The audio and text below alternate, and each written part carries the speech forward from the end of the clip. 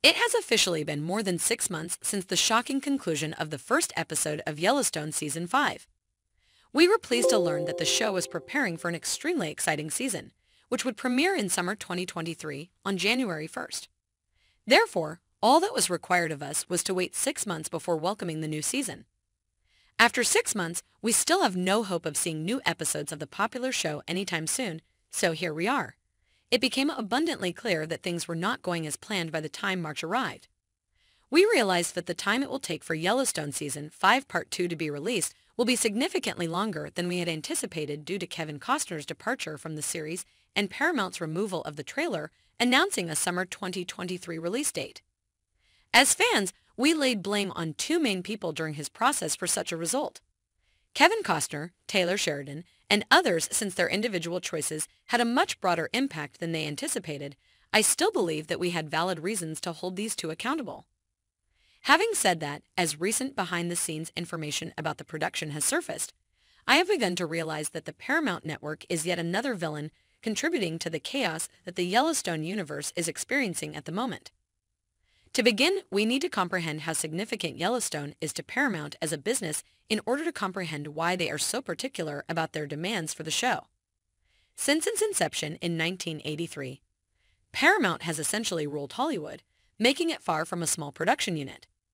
Having said that, the business lacks significant TV experience. The company is far from a threat to major competitors in the industry like Netflix and Amazon Prime, especially when it comes to streaming services.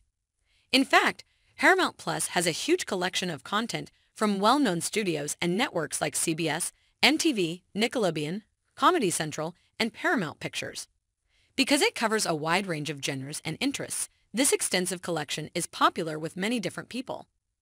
In addition, live sports coverage, including leagues, tournaments, and major events, can be streamed on Paramount Plus. This includes NFL games, the PGA Tour, the UEFA Champions League, and more. The streaming service makes it worthwhile for sports fans to access their favorite games and matches.